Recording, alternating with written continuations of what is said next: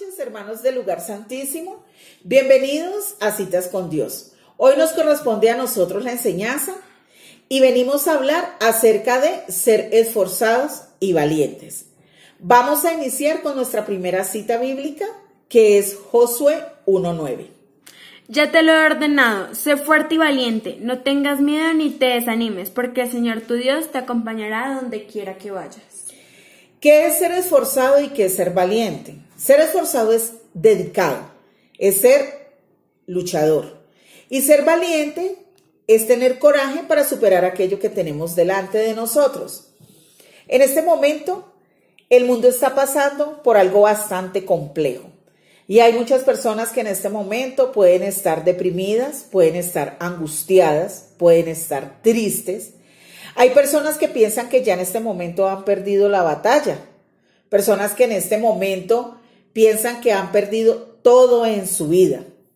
Pero en la Biblia la valentía alude a un guerrero fuerte, osado y sin temor a la batalla.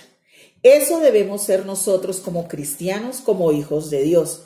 Personas osadas, personas que no nos da miedo salir todos los días a luchar en esas batallas ganar esas guerras, ganar todo lo que a diario se nos va a interponer en nuestras vidas para que nosotros caigamos, para que nosotros dejemos de creer. Todas esas cosas que van a ser para tropezar todos los días, debemos pasarlas, debemos caminar en fe, debemos caminar en oración, debemos caminar con el Espíritu Santo. El ser valiente es tener el ánimo para enfrentar las dificultades de la vida con determinación. Debemos ser personas determinantes, tomar decisiones a tiempo y tomar las mejores y las correctas decisiones. Pero todo esto lo hacemos de la mano de Dios. Nosotros como seres humanos no podemos hacer las cosas simplemente por nuestra propia decisión. Siempre debemos estar cogidos de la mano de Dios. El Salmo 31, 24 nos dice, Cobren ánimo y armense de valor todos los que en el Señor esperan. Debemos esperar en el Señor. El Señor jamás, jamás nos va a dejar. Él siempre va a estar a nuestro lado. Él siempre va a estar al lado de nosotros. Siempre va a estar caminando con nosotros. David tuvo el valor de enfrentar al gigante Goliat y todos los días nosotros vamos a tener un Goliat en la vida. Todos los días vamos a tener un gigante que va a querer aplastarnos. Pero nosotros como David vamos a salir a esa batalla a acabar con ese gigante, a exterminar ese Goliat que tenemos en nuestras vidas y poder vencerlo. ¿Cómo? Con sabiduría, esforzándonos y siendo valientes. No lo podemos hacer sin Dios. No lo podemos hacer con nuestras propias fuerzas si Dios no está a nuestro lado. En nuestra vida como cristianos tenemos una vida con propósitos y una vida con balances también. Hay tiempo de callar, hay tiempo de hablar, hay tiempo de reír, tiempo para llorar, hay tiempo para todo. Pero siempre debemos estar rodeados de esas personas que nos dan ánimo, que son personas llenas del Espíritu Santo, personas valientes y esforzadas. Yo le agradezco mucho a la pastora todos los días por esos mensajes que nos envían a nosotros, porque muchas veces podemos levantarnos desanimadas, podemos levantarnos eh, tristes, puede suceder, pero siempre vamos a tener con ello una voz de esperanza, vamos a tener siempre una palabra de fuerza, una palabra de gozo para nuestro corazón. En Deuteronomio 31.7 nos dice, Llamó entonces Moisés a Josué y, en presencia de todo Israel le dijo, Sé fuerte y valiente, porque tú entrarás con este pueblo al territorio que el Señor juró darles a sus antepasados. Tú harás que ellos tomen posesión de sus herencias. Dios nos quiere a nosotros dar como herencia su reino. Dios es nuestro Padre, nosotros somos sus hijos. Y como Padre, ¿qué es lo que Él quiere? Que sus hijos estén bien, que sus hijos estén contentos, que sus hijos siempre salgan victoriosos de cualquier batalla a la que nosotros vamos. Entonces, muchas veces como cristianos nos preguntamos a menudo, ¿cuál es la clave para nosotros vivir una vida de bendición y victoria? Pues no solamente se trata, hermanos, de orar y esperar. No debemos sentarnos a esperar que las cosas sucedan. Hay que ser valientes, hay que esforzarnos y hay que salir a conquistar. Pero ¿cómo conquistamos? Con oración, con palabra, con conocimiento. Escudriñemos la palabra de Dios, conozcámoslo a Él, miremoslo a los ojos a través de su palabra.